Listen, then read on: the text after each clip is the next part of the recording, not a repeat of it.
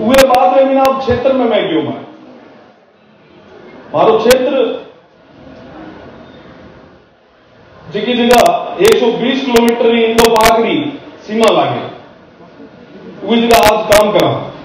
आप 5G रे युग रे मीना आप, ए, सोच, ए, जान बड़ो उचंगो करो।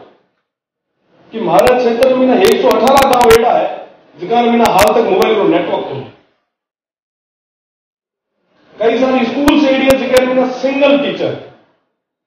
कई सारे हॉस्पिटल एड़ा है जिके मीना सिर्फ़ भेड़ बकरियाँ अलावा कहीं को नहीं है? डॉक्टर तो सावा सावा तक कौन देखा मैं भी चाहता हूँ आप वाले कहना के ना, पॉलिटिकल आदमी ना, पॉलिटिकल पार्टियाँ ना, ये सिस्टम ना, आप मंत्री भड़ास कहा तो खुद ना संतुष्ट कर बैठ सकते। आप सब युवा अगर वाकई बदलाव चाहिए तो आप खुद ना आगे आओ। वाकई अगर आप ना परिवर्तन चाहिए तो आप सब ना आगे आना पड़े, कदम रखो।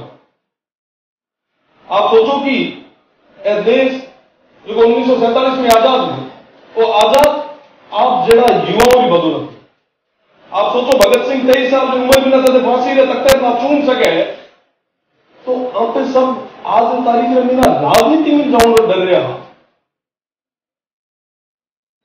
वाकई अगर बदलाव चाहो तो राजनीति रे बिना आज की स्थिति है बूढ़ी है कि बदलाव समाना चाहिए, पर पॉलिटिक्स में कहना ही कोना पूछा साहब, पॉलिटिक्स में क्या कोनी तो साहब, वो दलदल है। उहे रमीना कोनी मैं तो बाहर बैठा बैठा सब कर लिया। अरे साहब, बाहर बैठोड़ा कोनी आप ना मीना, उतरनू पड़े। अगर वाकई चाहो कि यह सिस्टम बदले ये सिस्टम रे मीना कई सारा चेंजेस आए तो आप सभा आगे आज तारीख मीना भगत सिंह सभाना चाहिए, पर आप घर मीना कहना ही को चाहिए?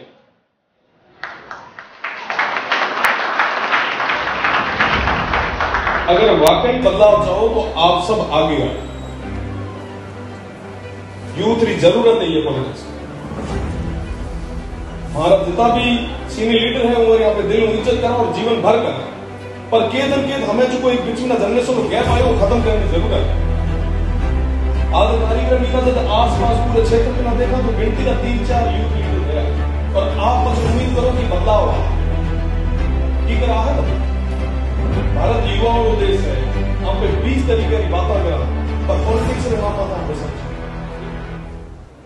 हूँ आप सबाना, ये मंच रे माध्यम में निवेदन करा, अपील करना आयो कि आप जुको कोई भी। पॉलिटिक्स में मेरा इंटरेस्ट रखो, आगे हिम्मत करो। ये देश के विकास का वास्ता है ये क्षेत्र के विकास का वास्ता एक सतत विकास का है